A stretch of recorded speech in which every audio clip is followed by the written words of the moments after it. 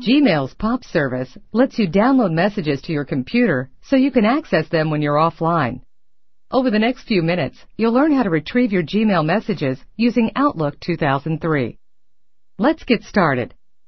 Begin by logging into your Gmail account. From here, click Settings and choose the Forwarding and POP tab.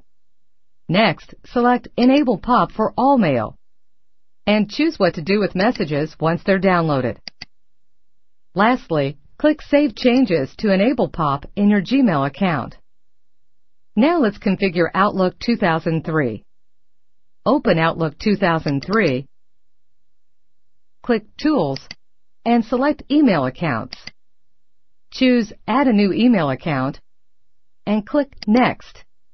For the server, select POP3 and click Next. Under User Information, enter your name and full Gmail address, including at gmail.com.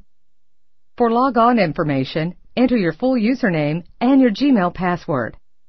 Make sure to fill out the server information as shown and click More Settings. Select the Outgoing Server tab and check the box next to My Outgoing Server requires authentication. Choose Use Same Settings as my incoming mail server and then click the Advanced tab. For Outlook to work properly, please fill out this tab exactly as shown and click OK. Click Next to continue. Select Finish to move to the final step.